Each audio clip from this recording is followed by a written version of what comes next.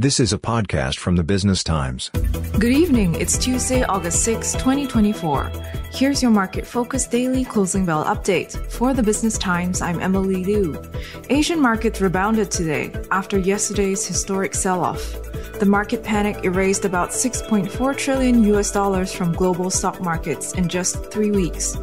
After a weak US jobs report, disappointing big tech earnings, and an interest rate hike in Japan, investors are now reassessing key assumptions that had driven their optimism in markets.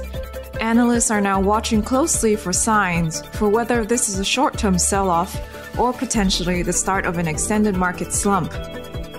Japan's Nikkei 225 jumped 10.2% today. Korea's Kospi is up 3.3%. Australia's ASX 200 is up 0.4%, Malaysia's KLCI is up 2.2%, and Taiwan's TAIEX is up 3.4%. Singapore's STI was an outlier, extending its loss to 1.1% today, dragged down by the trio of local banks. Shares of UOB are down 1.7%, DBS is down 1.6%, and OCBC is down 1.3%. Meanwhile, pure play US office real estate investment trusts listed in Singapore saw gains today, as investors expect the US to cut rates and are optimistic about the Monetary Authority of Singapore's proposals to relax leverage requirements.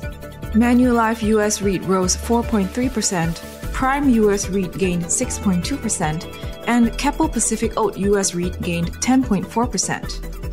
That's it for today. For more business news and market updates, visit bt.sg. This is a podcast by the Business Times. Find more BT podcasts at businesstimes.com.sg slash podcasts or wherever you get your podcasts. This podcast is meant to provide general information only.